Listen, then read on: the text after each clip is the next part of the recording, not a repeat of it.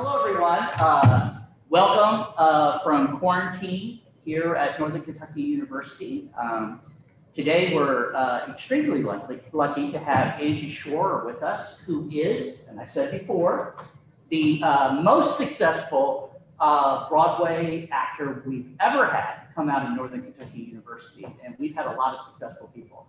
So uh, this is exciting, and I'm one of the lucky people who have seen her perform before, and uh, hopefully everyone will, because uh, it, it's hard to take your eyes off of her. As a matter of fact, at something so nice. rotten, at something rotten, uh, my uh, at the time teenage son was with me, uh, and we got to see Angie in the lobby after she uh, performed, and he's still in love with you. He is? Yes, I was Oh. 22, just so you know. Oh, I Yeah. I love those stories. Yes. You, like the old people. I'm so happy to be here, like, I'm just going to be on a stage. Oh, great to have you. And this is the stage that I did my first book show, Wow. And what was your first Chicago. show? Chicago. Yes. Um, and I, back, back in the covered wagon days when I was here, um, we, they had separate dancers. So, so I didn't get to be a cell block girl. We did dancers. Okay. And then six more singer actresses were the cell block girls. Really? Yeah, and the same with Cinderella, which I did here. I was in the dancer, you know, one of the dancers, and then a premiere of Joe's Bar, um, that Joe Conger would talk about directing. And I think Jack Wann directed Cinderella. That's right. Chicago. That's right. And so uh, your path is very interesting. Well, first of all, I have, just to, nice to be I have to do it just because great to be on stage. because this is this is just Broadway. Uh, this doesn't include the entire career. This is just Broadway, which right now our students' uh, eyes are uh, as big as saucers. The producers, Something Rotten, Big Fish, Catch Me If You Can, Young Frankenstein, Annie Get Your Gun, Chicago, Sunset Boulevard, Crazy for You, The Will, Will Rogers Follies. Did I leave out any of your My most recent, The Prom. and the prom. Wow, and that's one of your favorites right now. So amazing. Eleven, I thought it was gonna be a lucky one, but it only lasted for ten months, but it was, uh, it was quite something. And the story will still be out there because they're doing a Netflix movie. That's right. Okay, so you're a student, but when did you start to dance and sing before you ever came to NKU? How how old were you when that started? I was mainly a dancer Okay, from five years old t- till I came here. okay, And this is when, and I wish I would have known earlier, but nobody, my parents didn't really know, nobody knew to teach me to start singing right when I was dancing. Right. So I mainly came here as a dancer and I got a little scholarship. And then this school is where I started to speak and sing and act and, you know, do, all- do all the other things. Um, this is where I learned that I would have to do that. Wow. But I mainly was a dancer from, yeah, five years old until I got here. And like Linda Crumey and Janie Green, but they, the ballet masters, mastresses, mistresses, um, they really helped me because even though I had taken ballet, um, it, it's, I basically was half hour ballet, half hour tap, half hour jazz at Ziegler Studio of Dance, which is where I got my foundation Okay, and my style, I say. Um, Bobby Ziegler and Nancy Ziegler gave me all of that. And then Linda and Janie kind of helped me figure out the ballet, just I better technique. Um, but mainly the singing and the acting is started right here. right here on the stage. Now, uh, Linda Crumey and Jane Green uh, were dance teachers for many, many years here at North Kentucky University. Mhm. Uh, and they really, uh, especially uh, Linda kind of kicked it off, and Jane Green really, really took it to uh, establishing our dance program. Uh, and, uh, and now it's handed over to Tracy Long. Oh, okay. Yeah, yeah. Hi, Tracy. Yeah. So, okay, so you come here, you start to learn, and then what happens? Well, I was here for three years, and in the summers I would go do theme parks. I think I did Busch Gardens a couple summers. Okay, One summer I got to do, now remind me if it was dinner theater or what, it was in the black box. yes. Was Summer it dinner? Still, we still have it. Okay, great. Was so much fun, and that's where Jack Wann gave me my first role, and I got to play Lois Lane in Kiss Me Kate. Wow.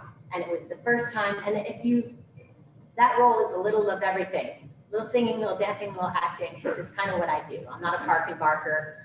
I gotta, I gotta move, I gotta, you know. Okay. So Kiss Me Kate was totally that rock role for me, and I think that's where I really got bit by the bug because it was just so much fun to get to do that. And it's also the first time I went up on lyrics. I In show remember, yes. If you know, uh, but I'm always true to you, darling, in my fashion. It's a lot of lyrics, a lot of, well, there's a man known as Tex. And I just went up on whatever the next thing, and I just went da da da da da da da da da da da da da. I think it was the first time I had to sort of improv and like come up with something, and I was so vivid in my memory, and it was many, many, many, many years ago. But um, so then I got a college program at Disney. It was supposed to be a college program, and I left because I thought I was going to get college credits. Right. It was called Epcot Entertainment of the Arts or something. Yes.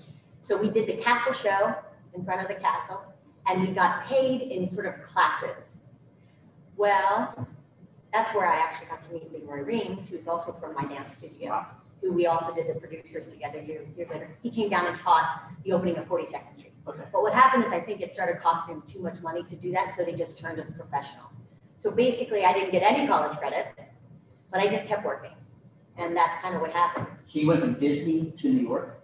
I went from Disney to showgirl in Atlantic City to a showgirl in Japan, back to open up MGM Studios at Disney. Right. Then to New York. Now, this is really weird. I was there when Disney MGM opened because I was writing television. Did we talk about this? I think we did. So that So, might have been the conversation we had wait, so before. you were at MGM? I came in when the studios opened, in Studio Three, we were doing uh, television, uh, from Earth to Moon, I didn't children's believe shows. that. Yeah, You were writing ta- TV movie well, pictures. now they, now they've closed it all in Right. Hollywood studios. Yeah, so where the Hollywood Bowl, they moved the Hollywood Bowl now. Yeah. but That's where we did Disney Girls, I did the Dick Tracy show, they were all at MGM Studios.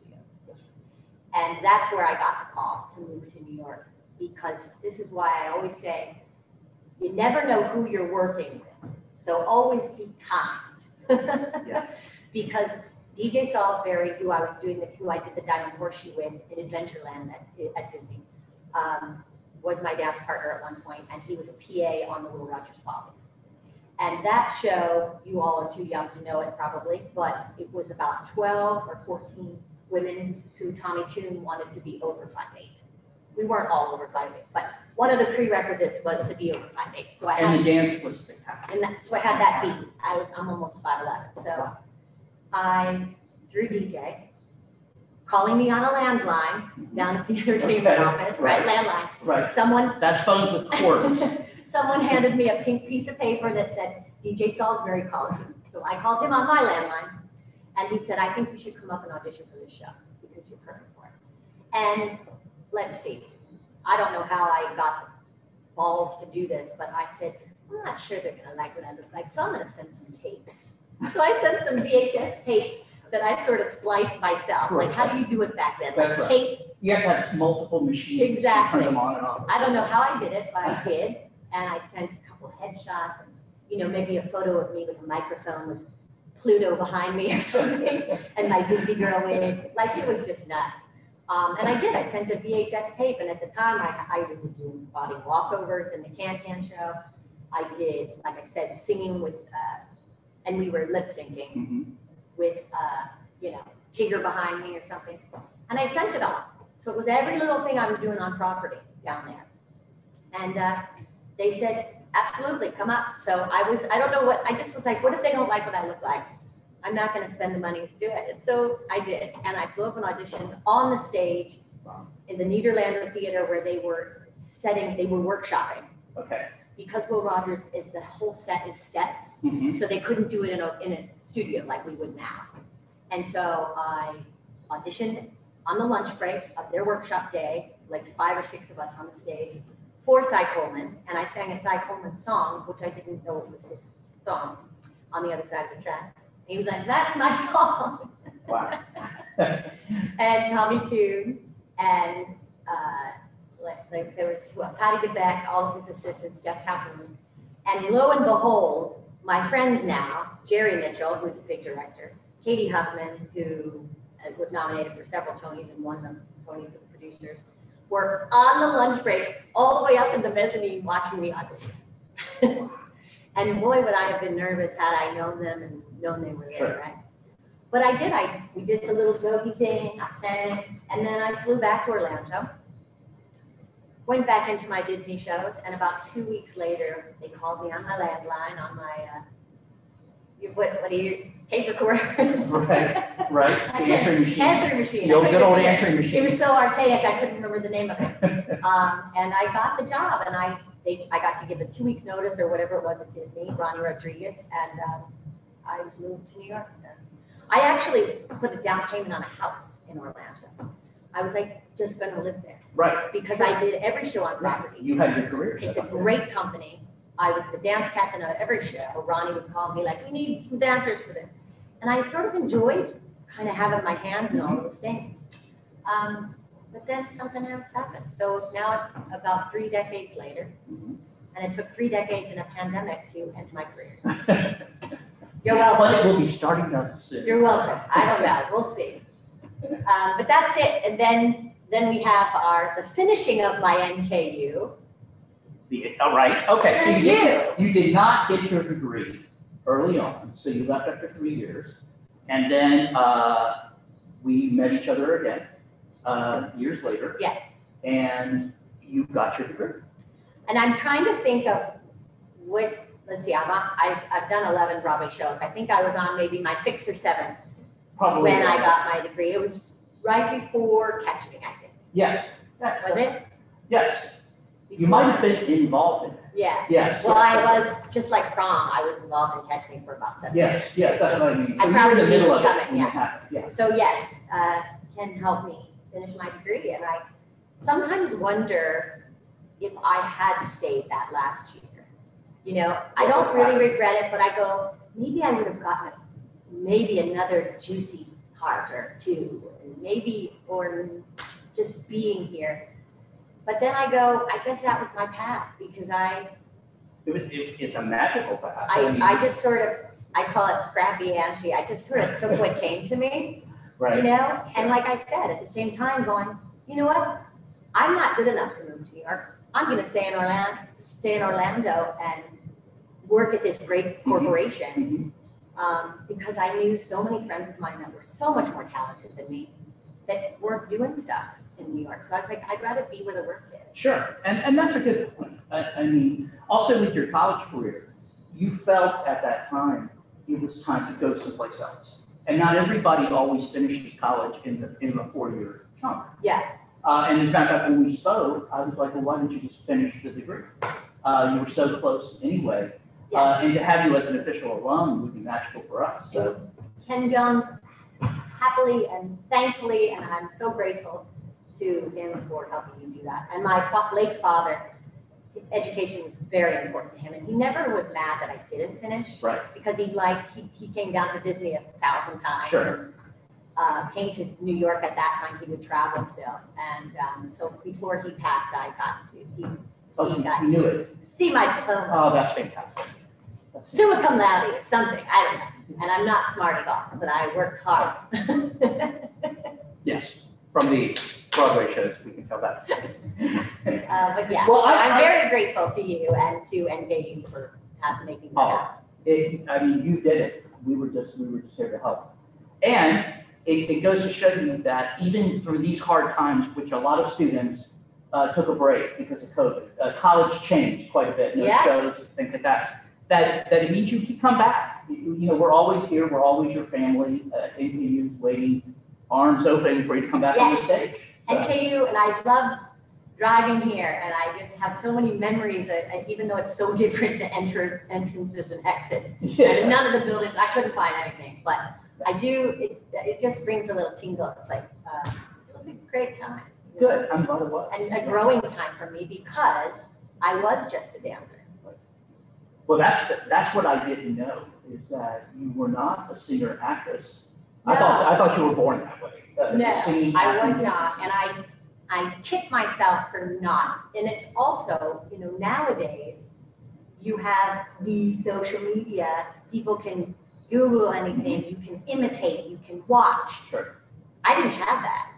You know what I mean? And even once I moved to New York, you know, like to get a, get a sheet music, you had to go to Colony and get the hard copy. That's right. You know, nowadays you can find anything, and so I feel like it's just, everyone's just better, you know, and I think I was kind of that last generation that, that kind of just got slipped by with just being mediocre at everything, but having a package and knowing what I am. Yes, except I have seen her and you dance circles around people. I mean, you're amazing. Your, your voice is spectacular. That's so On kind. stage, I, you know, I just sat there with saucers at Something Rotten and And I was just, I don't say just in the chorus because I love the chorus and I would, as long as my body holds up, I will do whatever I can for the rest of my life.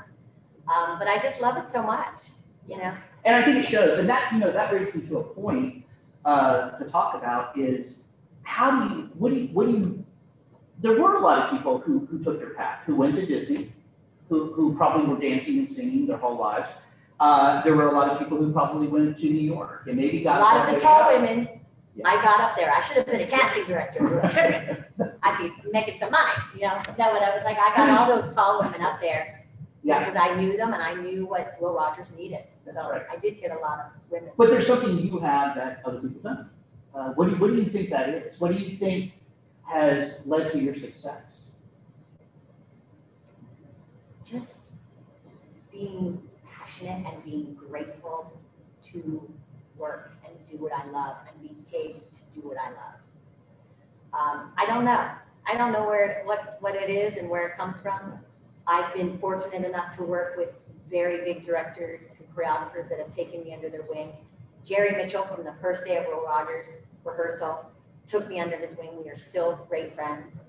I mean, he only hired me to do Catch Me If You Can. He hasn't hired me to do a lot of things, but uh, we're good friends.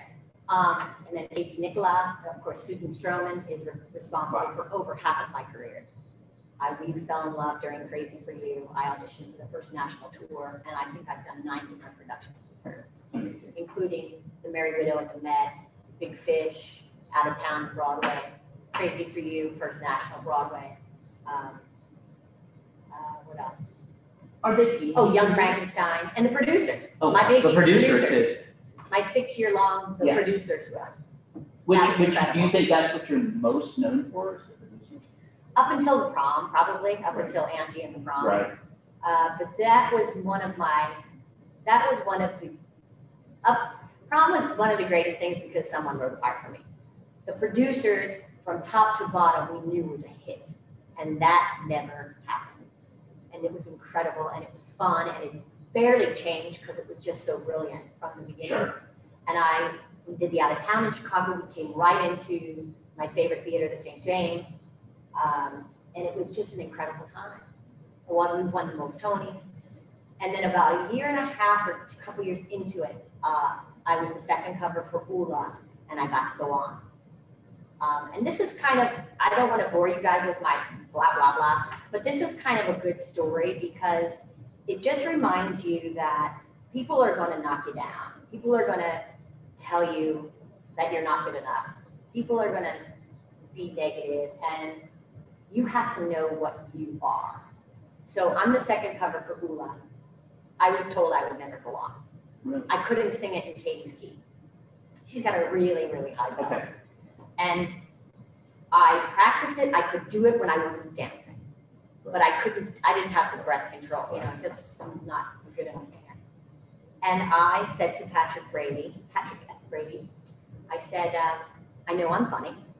I know I, I looked the part, Ulla was a tall blonde, not that they couldn't just win me, which they did. And I said, um, can you feel my own key? And he did. And it was just a half a step lower, but for whatever reason, it fit better in my voice. Sure. And I could do it because if you know Ulla, if you know the producers, she just got to do get get all these little things. And even though it's not a lot of movement, you're you're precise and you're holding your breath, and then you're you know. So it was just figuring out. I used to do the back walkover off my bed, singing the note, just trying to you know rehearse it. But anyway, he, they gave me my own key, and thank God they did because on I'm saying it's probably about a year and a half into the production, maybe two years. I know it was a Valentine's Day. On a two-show day, I got I went on the second show, And I, I had maybe two costumes. I wore all of. And I rehearsed with Matthew Broderick right before the show. We did, we did that face, dance number. Okay. And that's all. I had a little bit of rehearsal and whatever. So thank God I had my own key. Thank God it went well. And I got to go on like six more times that week. Mhm. And then they asked me to do the first national. And then I did the last four years as Ulla on Broadway. But they told me I would never go on. Wow. So I, you know, it panned out the way it is and, and rightfully so. If I'm not good enough, I get it Mhm. right? But somehow I just found the power in myself. And listen, I am not a confident, I'm not a very confident person. um, uh, like about myself. I mean, like I'm, I'm fun and boisterous and over the top, but I'm just saying, I wouldn't, I wouldn't be the first person to be like, yes, I can do this. But for some reason, I just knew that I was good at certain things and I just needed a little help. Oh, okay. So, And you did this for, That's the story for today. you did this for four years after that. How, how do you do that? How do you go in there that many times for four years? Do How the many same times thing, a week? and do the same thing over and over, Yeah. eight shows a week. And how do you take care of your, I mean, you're dancing, you're singing, you have to take care of yourself. What, what, what is your, what, for somebody who goes on Broadway and, and gets into a show, we tend to think, oh my, they just are breaking champagne bottles out every Yeah, yeah, night yeah. and- and going to these parties, but you're not. You're taking care of yourself. No, I, uh, in fact, when I did the first national tour of Hula, it was my first, I had understudied roles. but It was my first taking a role on the road, you know? Okay. And I would only go out on Sunday nights. I was so good. I, and, and, uh, I'm a social person. I like being social. But I wanted to make sure that I kept my Sure. voice good and, you know, did what they asked me to do and was the leading lady of that show. And so I was really good. And then the same when you're on Broadway, you just can't go out and talk over music and talk, I can't. Right. Some people have the cords of steel and can, but for me, I have to really watch because I, as you can tell, I get energized and I'm talking over people and then you're shot. So you just have to be, maintain that. I take, I still take in my Zoom land, my friend Deb Roche teaches um, advanced jazz class that I take. It's a great warm up. So you still take I dance lessons, I do four Wow. times, four times a week. okay? My friend Deb, Deb Roche, uh, she teaches at BDC Broadway Dance Center and at Steps. And we do it on Zoom now, but it keeps me moving and, um, hopefully, you know, when this thing opens up again, like, uh, we're, I'm two years older, like, who knows when it's gonna open up? But it's just part of who I am. So I did that even during the prom, still, Okay. Deb Roche, in person, that was, we weren't in COVID yet. Mhm. And, um, and I, I do like vocal co- coachings and stuff. If I have audition, I don't really audition that much anymore, but uh, I just try to keep up on it. And I'm a little been a little uninspired in this time. I will admit. At first, I was like trying to sing every day. Now I'm just very uninspired. I'm trying to I'm trying to figure it out. I think a lot, of that's happened to a lot of people. uh, I've heard. In the early days of COVID, everybody, we were still taking lessons and we were coming up with creative ideas, doing things on Zoom, and now people are just tired.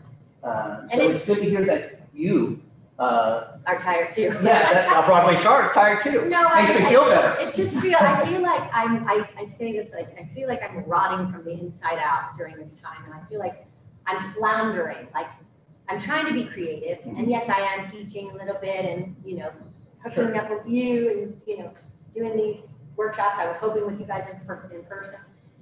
Been trying to stay creative, my, a girlfriend of mine wrote a show, she wrote a part for me every week. A couple Wow. weeks, we work on that, and that's creative and Sure. fun.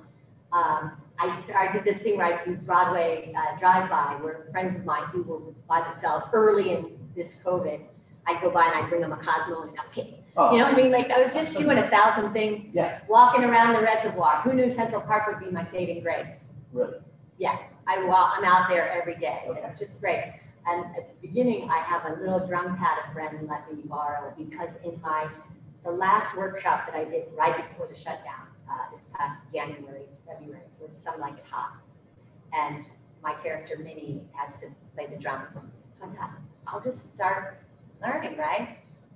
So I got the drum pad, I find some, you know, drum things online. It lasted about a month. And then I was like, well, first of all, Broadway ain't opening up for another year, but I should just do it. And I, I, it's funny, because I'm not a procrastinator, that's not me, and I'm usually somebody that goes, I'm gonna do it, I'm gonna do it, and I'm just not finding that right now. Right, sure. And, um, I could use it as an excuse, I don't know, but I'll, it'll, I'll get, I'll get rolling. Absolutely, absolutely. But, uh, Have you Yeah. heard of any word of anybody talking about shows coming back or when Broadway might come back or? it's just what the, the last date was end of May, um, which I may, mm, I don't know that that's gonna be it, May or June, I think it might be September. I don't know, like, yeah, It's I'm hard not to an say. expert, um, but I hope that, that this vaccine is right around the corner, because that's gonna help. That will change the game. Yeah. And it, you know, it's sort of hard because theater is probably the last thing that will come back, right? The thing that we love and the thing that we all are, you know, feed off of is just not there, you know? Like, And it's really great being on the And it's more right about, sometimes it's more about the audience uh, than the, Yeah, the the actors can figure it out. It's the audience, having enough Exactly. audience to make it worthwhile financially. Yeah, I guess you could figure it out. I mean, you, you gotta remember, it's not just the cast, you've got a million crew, you've got the front of house, you know, all of, all of that. So, yeah, I guess you could figure that pod out, Mhm. right? But then it's the, uh, it's getting the audiences in the seat and getting them to want to be in the seat. Um, Because I would be nervous, Sure, sure. you know? But I, I think it'll, it'll come back, and it'll be strong, and, you know, one of the things I missed is just that, the down, you know, the, I say the downbeat will come again, but one of my favorite things, being in a show or sitting and getting ready to watch a show is listening to the orchestra do their little warm up. It just feels so good, and then when the downbeat starts, so I miss all of that, I miss watching it, I miss being in it, I miss seeing my friends do it. The last big thing I saw was Moulin Rouge, and it was just, uh, delicious. You walk in the theater and it just envelops you, and I know a lot of my friends are in it. And the way it is, they, they sort of are performing as you're coming in. Okay, And it just took you in, and it was like, I miss that. sure. I miss it, and I'm so happy to be sitting here. I wish you guys were here too, but I said to Ken, I'm so sorry. I'm so sick of people in their pajamas Right. and doing the Zooms. Like, I can't wait to see. That's right, at least we're in a. Exactly. I feel like I'm on Broadway. Um, but to see it again and to see, uh, just my friend working and living and, uh, what we love. Yeah. So I can't wait. Well, we know it's gonna happen, um, hopefully sooner. Um, let me jump back to another question. All right. I know the students would ask this question. When you first moved to New York, uh, a lot of times they're worried about, uh, they, they come from northern Kentucky or Kentucky or, or, or southern Ohio, and they're making that jump into the city, and the city feels terrifying to them.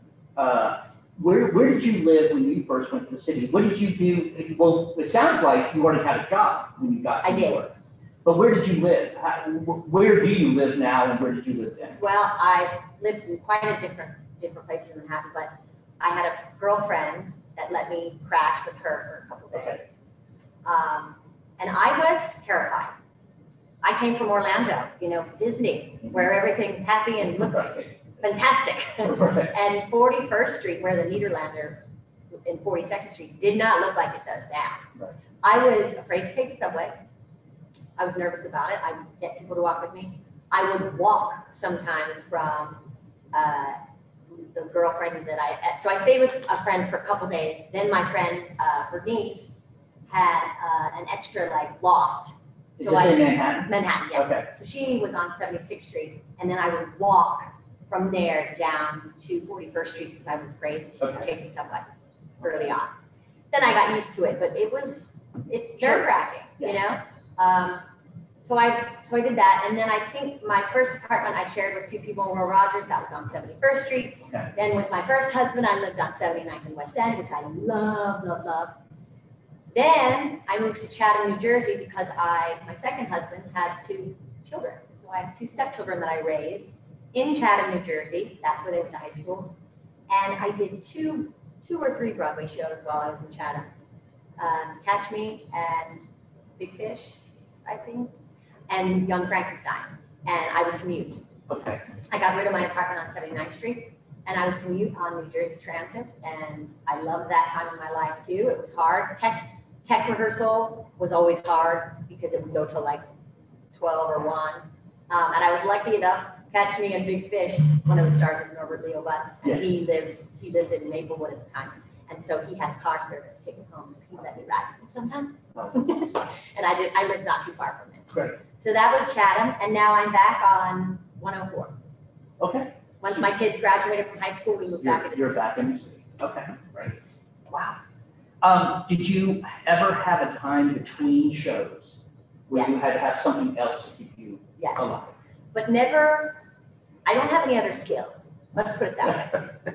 This would be the time to hone in some new skills, like learn how to waitress, or, you know, I don't know, what else do we do? Be a bartender, Mhm. or work at Sephora, or, you know, whatever it is. But the problem is, instead of them needing twenty waitresses, Right, they only need three and they're already there. So it's, it's, it's just a catch twenty-two. Sure. Maybe again, an excuse. Maybe I'm making excuses. right, Um, but, uh, I did, the only things I would do are regional theater. That would be my in-between. And for me, especially when I was raising teenagers, uh, I liked being home as much as I could. I didn't want to do any Mhm. national tours. And, uh, I would do maybe two or three regional gigs in between. Would you audition for those in the city? Yep. Get them in the city and then leave the city to go to Uh-huh. whatever region of the country you're in? And a couple of them, a couple of regional theaters now I've worked at several times, so they'll just offer me something. Okay. Ogunquit Playhouse is one of my favorite places to work. Um, which was, I had another Crazy for You in the hopper this past, which would have been this summer.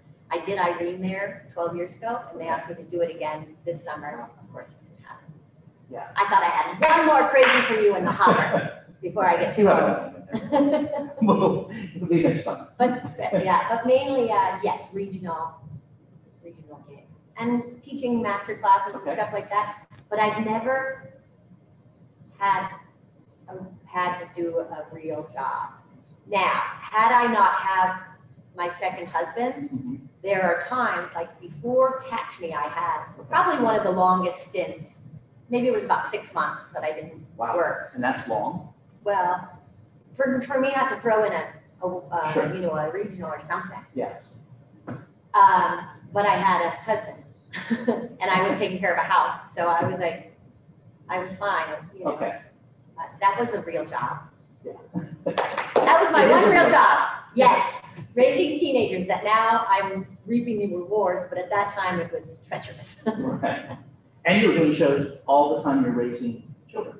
basically. Wow. And if I wasn't, I would still go into the city to take my Deborah Right, and do my maintain. I just had to maintain. And I think that's what's helped uh, my longevity is just kind of keeping those things up, right? Okay.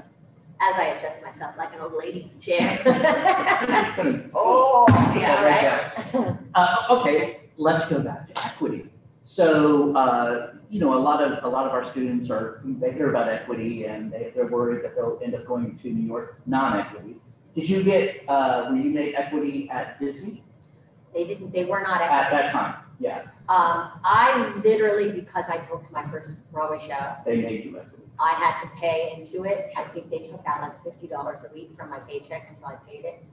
Um, but I, you know, sometimes I think about this. Uh, I've talked to, a lot of times, like at Ogunquit, I did Annie, uh, last year, and, uh, some of the chorus were non-equity.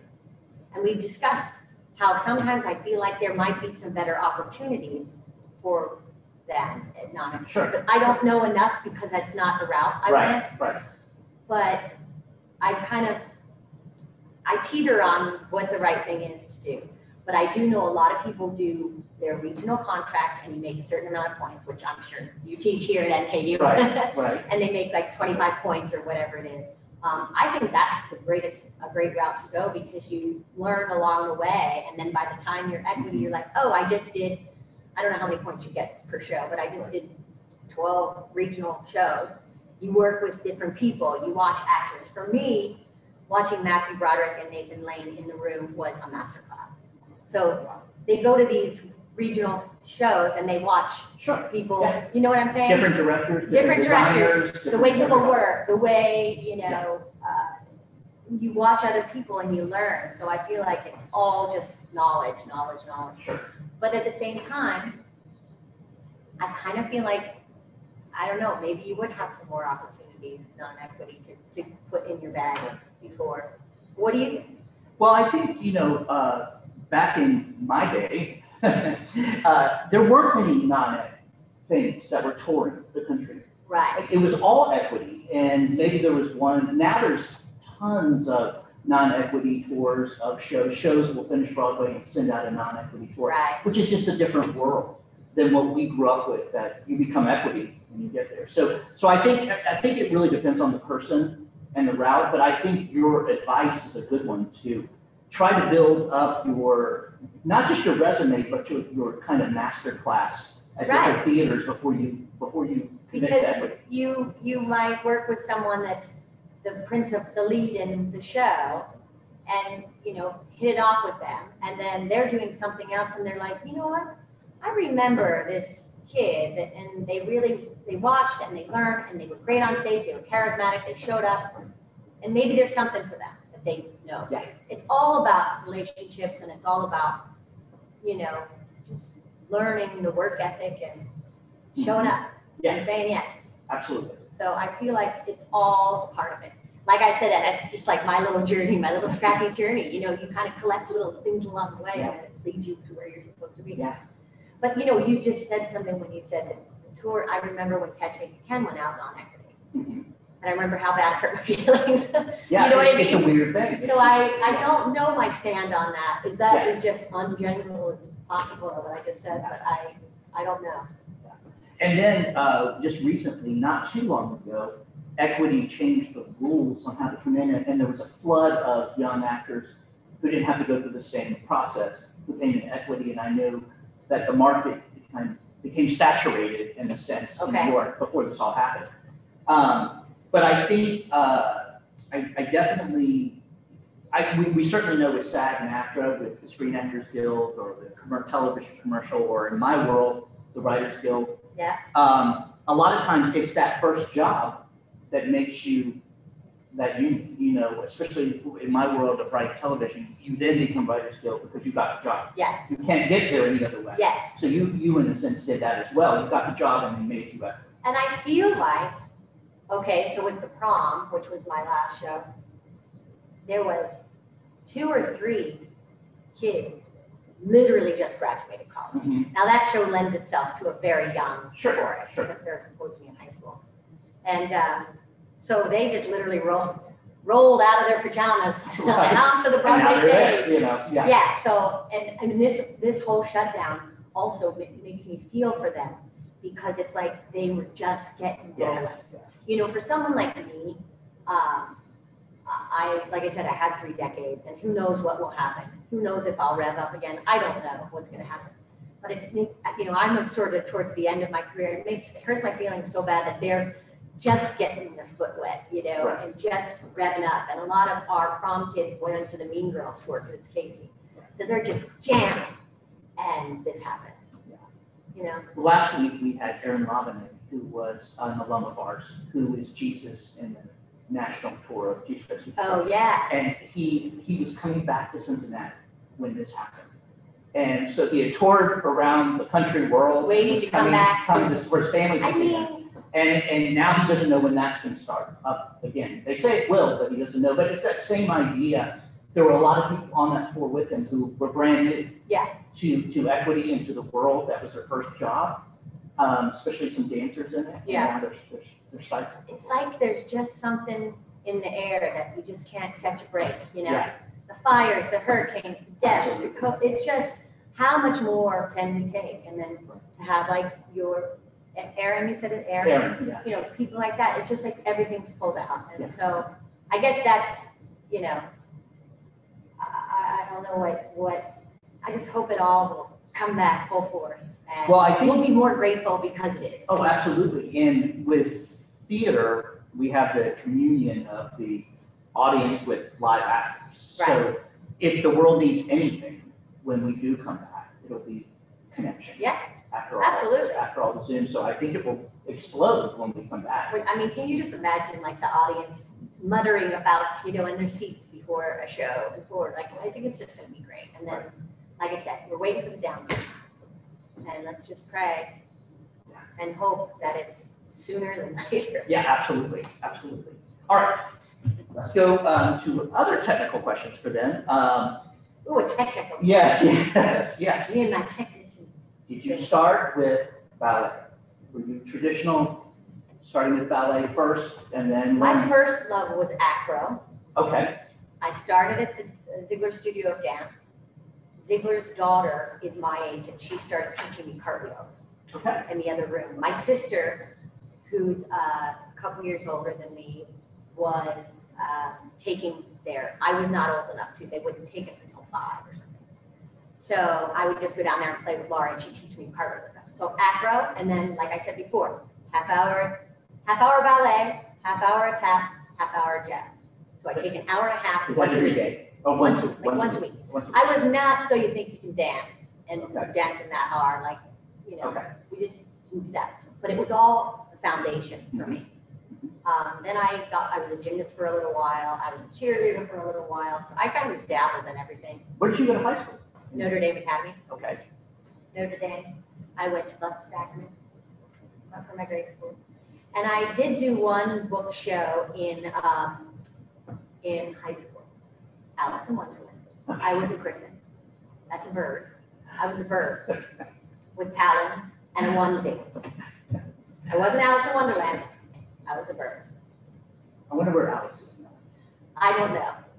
I hope you're out there. she was adorable. I remember that, but I was not Alice. Okay, all right.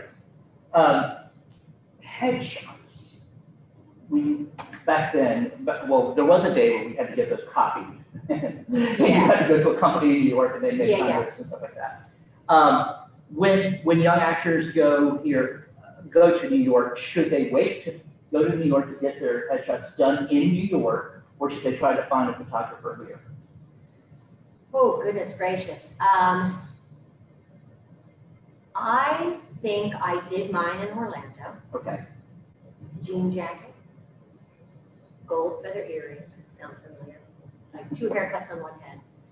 I did those, and then when I got to New York, I got recommendations for people. Right. And got, and nowadays, listen, the digital stuff, it's just so much better. I think you could really do it anywhere, just something that shows you, shows your personality. Mhm. Um, but I don't know that people or casting directors worry about, oh, well, they didn't use so and so. I think it's just gotta be a great shot that, that shows you. Um, I, you know, but I certainly could recommend some people. Right. Justin Patterson does some really great headshots in New York.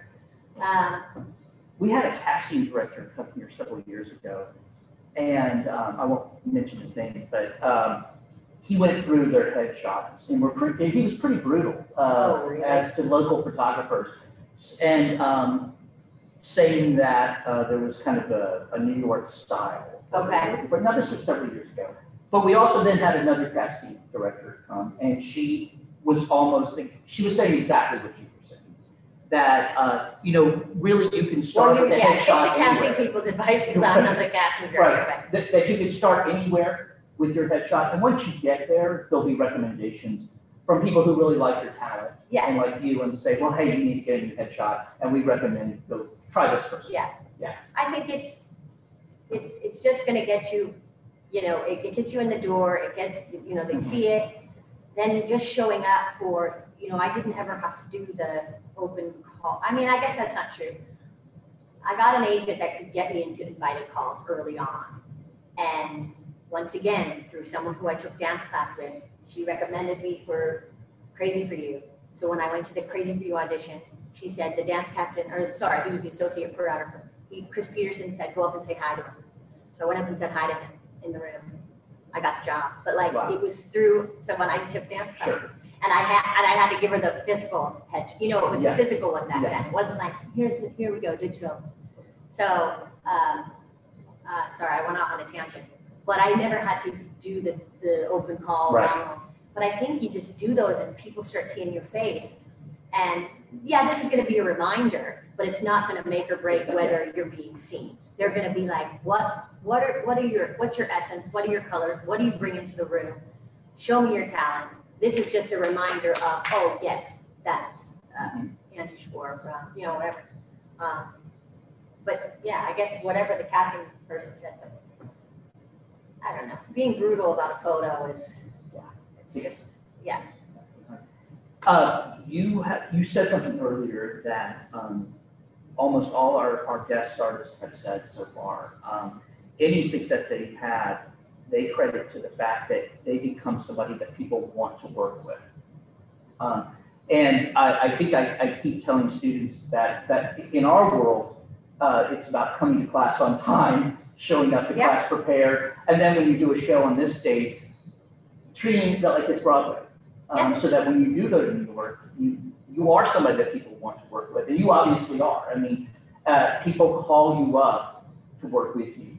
Um, and, uh, were you, all, was that always something you knew, or was there ever a time where you felt like, uh, you did, you didn't behave that way? Oh, that I, wait, that I didn't behave, That you, you might have felt that you were, no, I think it's just always been who I am, and I don't know what that is from. I don't know if, Sure. if it started, probably started with a little bit of my parents, probably started with a little bit here, where, you know, people do your, the costumes and, you know, I, I don't remember, we have wigs here, I can't remember, hair people, And, um, you know, I think you just learn to treat everybody kindly. Mhm. And you're right, there is something to, and, and I'm, and I'm not trying to be like, toot my own horn, but when I did a work, I did a, okay, I choreographed a show at a college, at Rider College in Princeton, New Jersey, with my friend directed. And our friend Jerry Mitchell came and watched the performance, and he did a nice Q and A for the kids. And he said, flat out, as he'd sit next to me, he goes, I, Angie's one of my muses, I, I always want her in the room. Cut to, once again, he only hired me for catch me.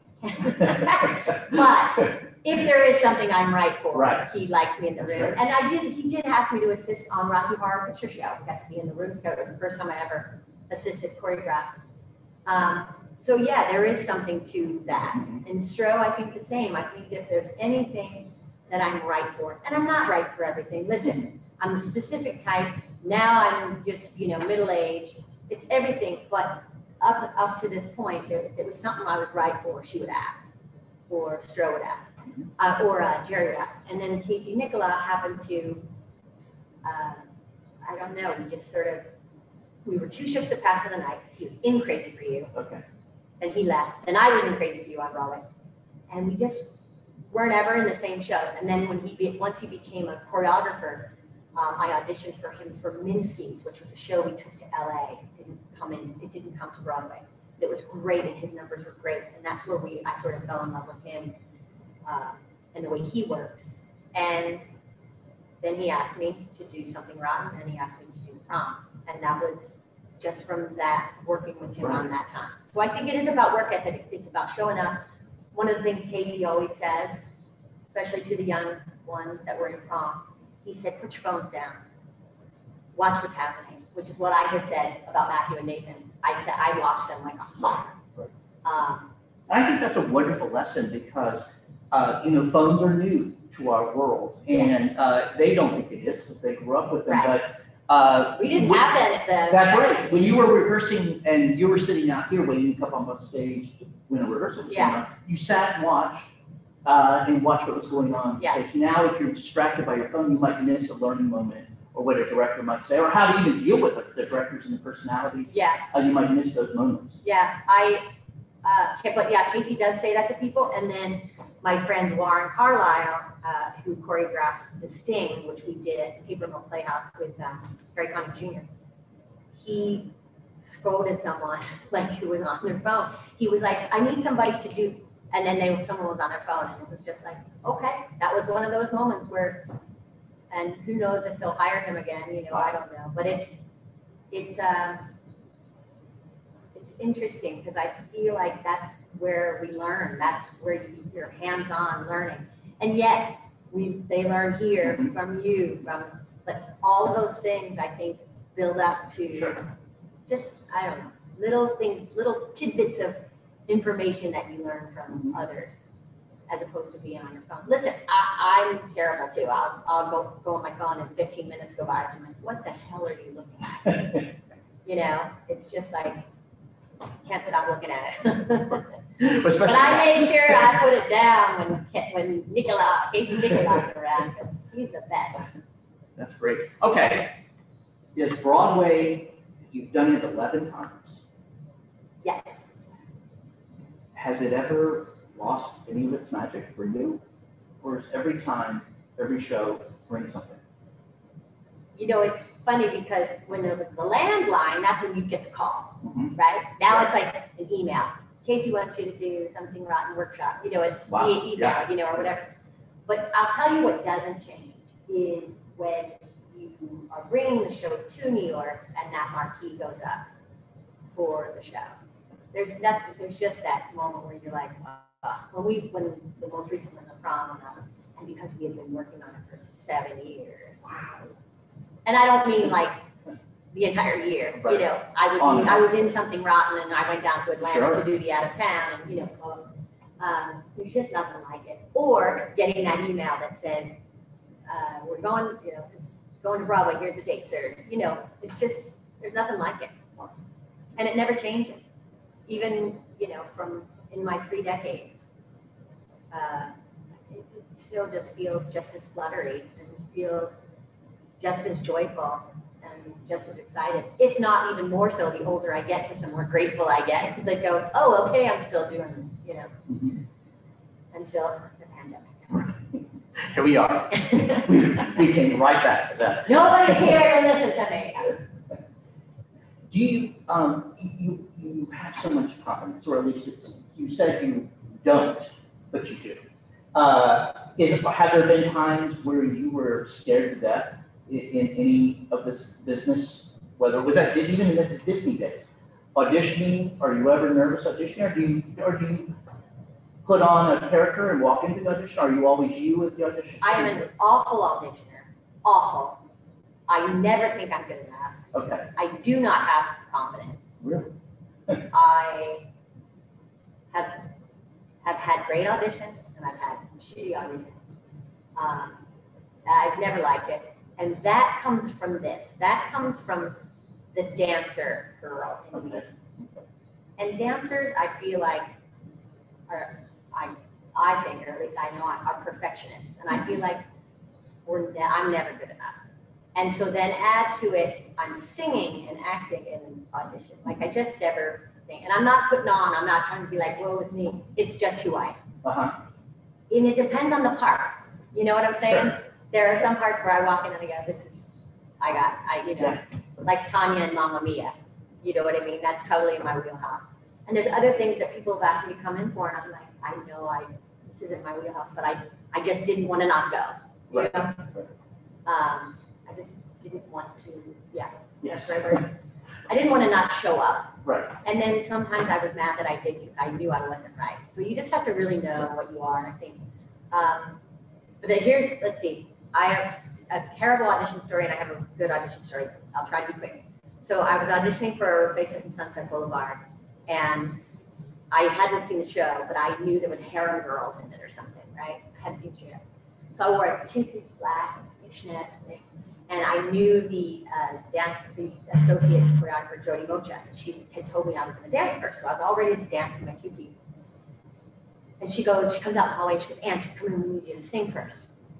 So I was like, okay, I guess I'm just going to sing in this, right? Because I would, sometimes I would bring a change of clothes.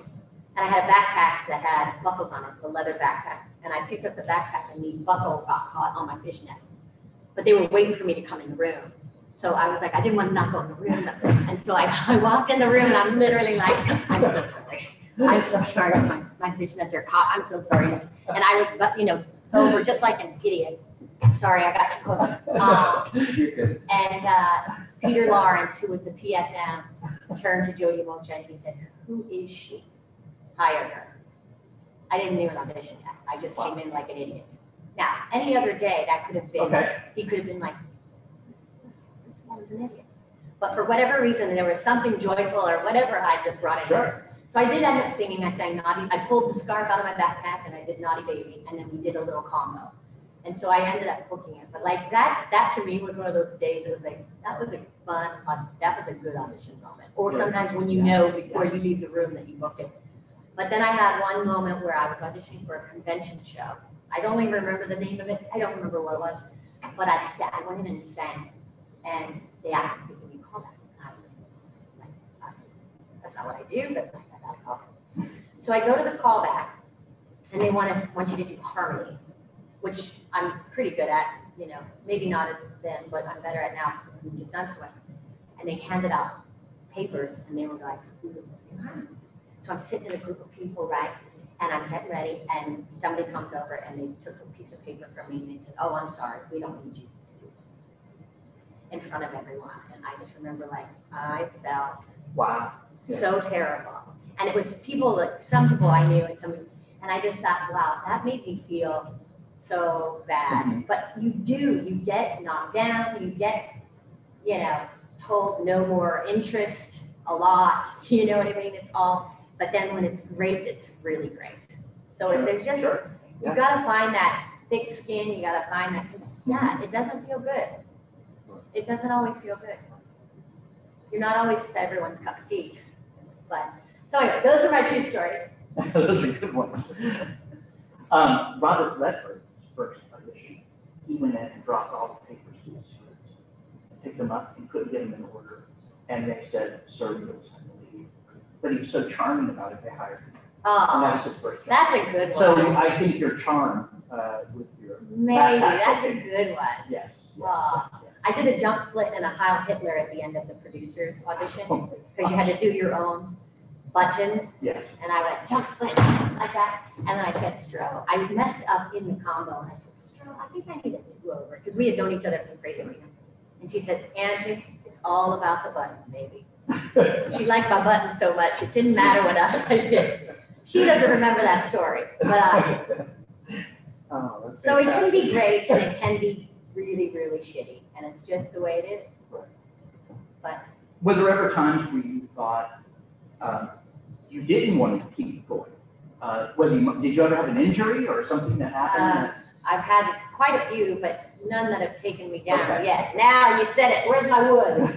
Got Oh, it. oh, shit. Um, there was one time where I had a break and I had just done, I think the Rocky Horror Picture Show, I think, or I was, that was, yeah, might have just finished doing that with Jerry Mitchell.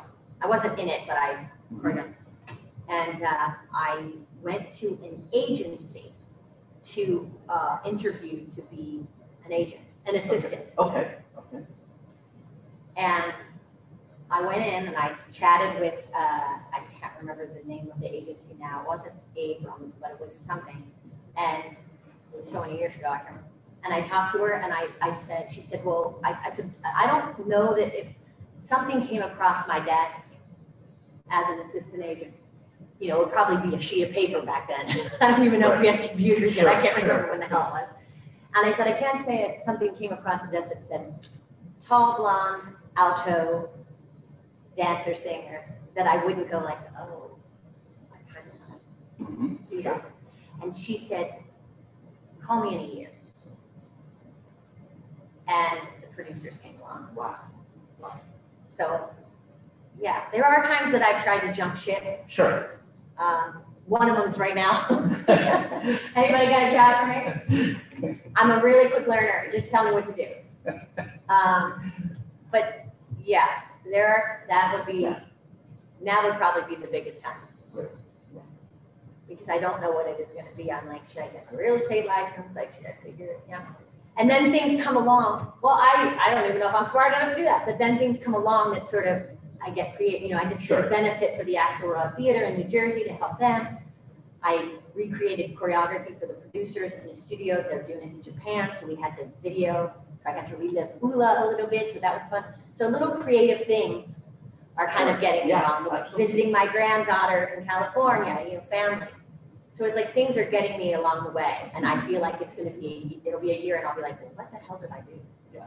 absolutely nothing Well, I feel but like- from me and all, all the people watching are probably thinking, you'll be one of the first people to call from after hearing you speak. And, I don't know about that. Oh, we think you, you don't have to worry. No, I don't know about that. We'll see, but, you know, I hope, but it's gonna be, it's gonna be harder. We're trying to keep Sure. everything together, but, you know, doing, doing my Deb Roche dance class in my dining room Mhm, is different than being on a stage. That's right.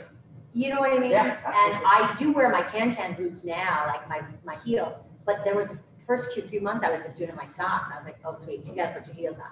Because it just makes you feel Right. like better, like you're performing, but it's different than doing eight shows a week. It's different, you know, so you're gonna, there's gonna have to be a rev up period, I feel like, for everybody. That's right, that's right. And, um, I look forward to that, but yeah, I hope someone calls me. Well, we are running out of time. Is there anything you would tell students if you remember how it felt to be on this stage and you heard a guest artist coming in and speaking to you? Is there anything you would tell them for our last moments? Well, I would just say, if you are as passionate about it as, like, obviously you are, if you're showing up and this is what you're doing in this remote, crazy COVID time, you know, stick with it, say yes to everything that comes your way, be a sponge, learn from anything and everybody, and um, most of all, stay grateful and kind, because that's been a good way for me to keep working. Um, I also know that your generation, people are just better and fiercer. And much more of a triple threat than I was ever, will ever be. And so I think it's just gonna be really exciting and just stick with it. And if I had to do it all over again, I kind of wish I was a park marker. And maybe I should be doing, learning that now. That's what I should be doing now, but I'm just not inspired and I'm trying to find inspiration, but, um, that's it. Say yes, because it will, you will end up exactly where you need to be, wherever that is. Because I thought mine was in Orlando, in, in a house in Lake Winnebago, but it wasn't. All right. Did that, did that? That's right. No, that's. Thanks for listening to me babble. All right, thank you, Angie. Uh, thanks for being here today. And, uh, thank you to everybody. This ends our guest artist series, uh, for this first semester. And, uh, we'll be starting back up, uh, next year. And everybody be safe uh, out there and, uh, keep your fingers crossed about that vaccine. But again, thank you. Can't wait to see you in person Yes, someday. and, uh, thank you. Bye-bye.